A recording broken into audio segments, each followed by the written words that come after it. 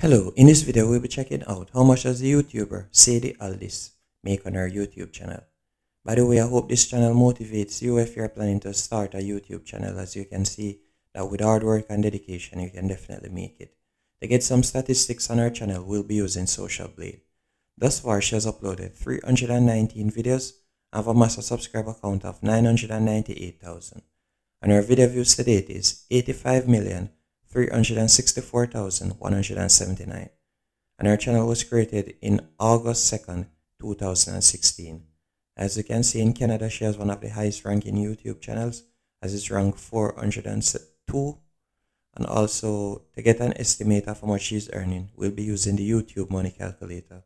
And we'll be estimating that her CPM is $4 and by the CPM I mean the cost per thousand views. And this is the amount of money a YouTuber gets paid for every thousand views a video gets, but the CPM tends to fluctuate as it can go from anywhere from a few cents to up to 10 or 20 dollars or even more, as it all depends on the country that the video is being watched in. How long does the viewer end up watching the ad for if the viewer ends up clicking on the ad?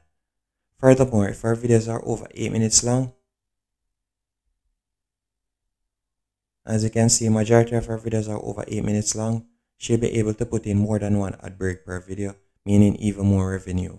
But with at least one ad break per video and our estimated CPM being $4 and our daily view count being 91,000, she'd be earning $364 per day.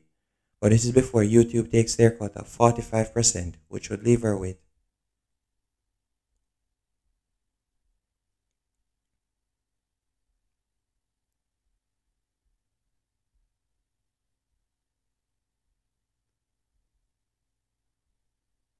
$200 per day, and for the month she'll be earning